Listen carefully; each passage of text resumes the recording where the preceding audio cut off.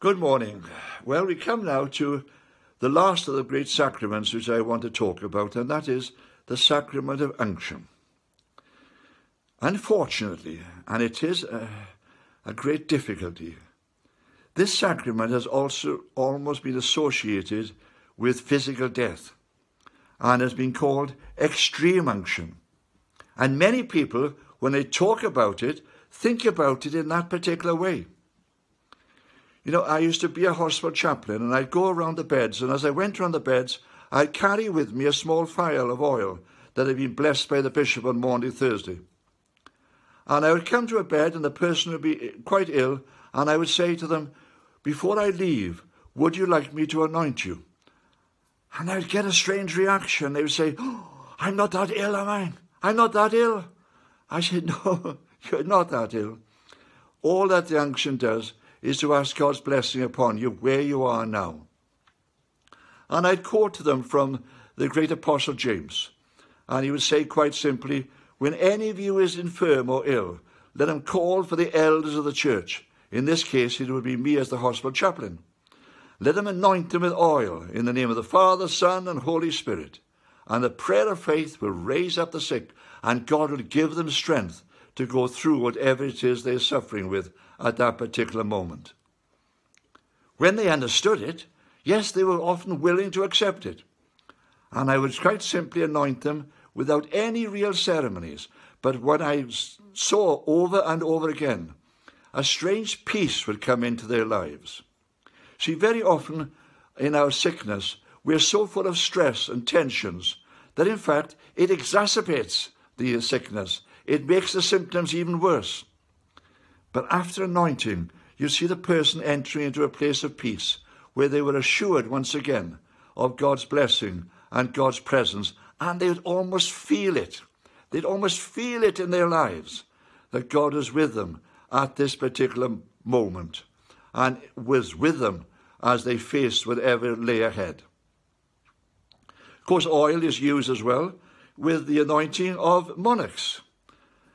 When the queen was anointed and when any monarch is anointed, they were anointed with oil. As we ask that God will bless them, and the anointing with oil will somehow be a sacramental act that will release, release God's grace into their lives. We don't use it much in the Anglican Church, but very often in the past, priests, when they were ordained, and bishops, when they consecrated, would also be anointed with oil as we ask for God's blessing upon them for the task they had to carry out. But then, of course, there is always as well the great sacrament as we approach the end of our lives.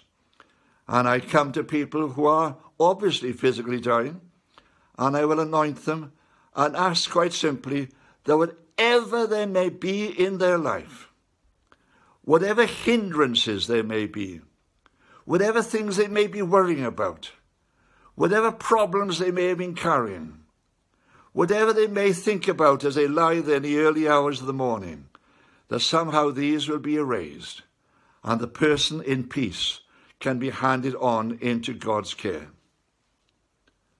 Now, I've seen so often God blessing at this particular moment. So often, again, going back to my role as a hospital chaplain, I'd go into wards and I would see people lying there in bed and the families around them. And the family saying to them quite simply, Come on, you can fight this, mum. Come on, you can fight this, dad. Come on, you can get over this. You don't have to go through this. Come on, get better. Come back to us. And they sing all these things because they love them and because they don't want to lose them.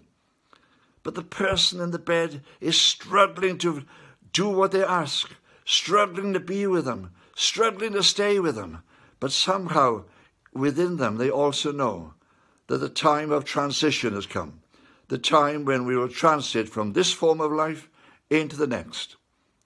And I would say to the families and the friends and the person in the bed, Would you like me to anoint you?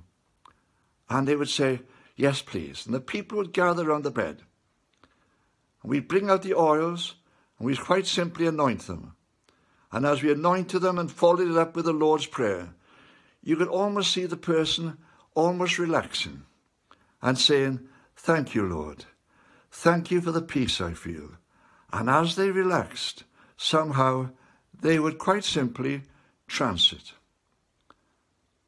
And I would turn to one of the family members and I would say, Would you go and fetch the nurse for a moment?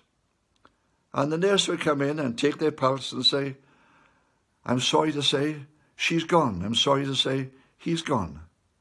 And the people would look at me and say, What happened? And I said, Well, this is the natural end of life. And as we anointed the person, God's grace moved in their life. The problems he erased, the love he poured in, and he reached out and he took them into his presence. So, yes, anointing is an important part and an important sacrament in the church, and we thank God for it. But remember, it's not just extreme unction, it's for whatever needs you might have. And if a priest comes to you and says, Do you want me to anoint you? It's not because you're dying, it's because he wants to release God's grace into your life. Amen.